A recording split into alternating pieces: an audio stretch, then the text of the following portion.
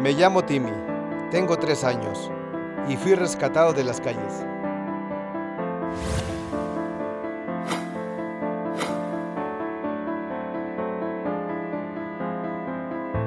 Estaba muy, pero muy este, desnutridito, estaba todo lleno de, nudos, su pelaje, este, y lo que se hizo no, no fue mucho, eh, darle un baño medicado, se le llevó con consulta médica al veterinario y cambió totalmente el perrito. Entonces ahí empieza lo que es el proceso de adopción. Como rescatista independiente, tuvo bajo su responsabilidad a Timmy, pero no por mucho tiempo. Yo no sabía que, que Timmy lo había adoptado pues alguien este, que es parte de, de Canal 10, ¿no? Entonces, este, realmente valoré lo que era el lugar donde iba a estar, este, el cuestionario que me contestaron me agradó mucho. La familia Velázquez Arenaza es ahora la nueva familia de Timmy. Ellos sufrieron recientemente la pérdida de su mascota y la noticia de haber sido elegidos los llenó de felicidad. Teníamos otro perrito que falleció y realmente era su compañía. Cuando él muere, me dice, mamá, ya me quedé solo. Entonces fue una decisión que tomamos. Conocimos a las rescatistas y ellas me mandaron un mensaje. Me dijeron, Eri, hay este, está estado, este perrito, ¿te interesa? Le digo, no, sí. José Fran es hijo único y Timmy es su hermano perruno.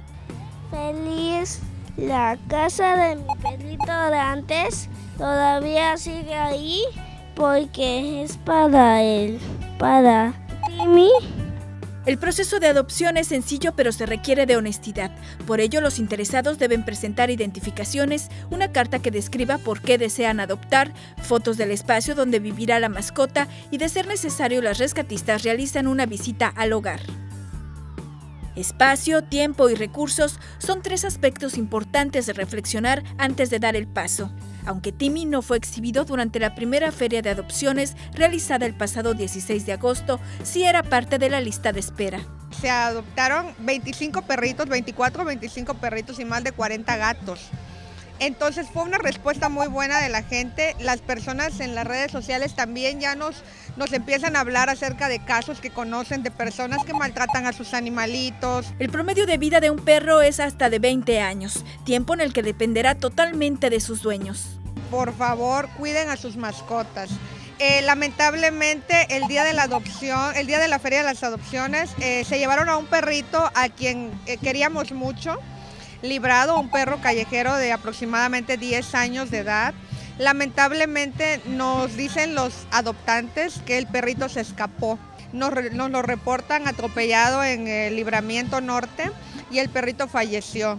Las rescatistas requieren del apoyo de la sociedad para continuar con su labor. Abrimos una, una página que se llama Los Ángeles Caninos. Ahí tratamos de publicar tanto perritos que están extraviados o en nuestras páginas de Facebook, cada una tenemos nuestros casos y ahí posteamos. Como Timmy, todos los perros y gatos rescatados en espera de un hogar permanente requieren de alimento, medicamentos, consultas médicas, hasta platitos para comer.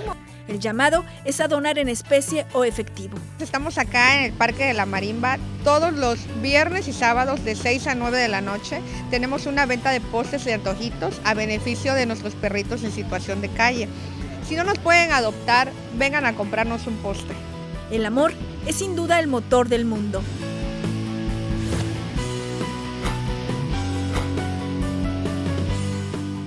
La cámara, Freddy Velázquez, Ana Luisa Quijano, 10 Noticias.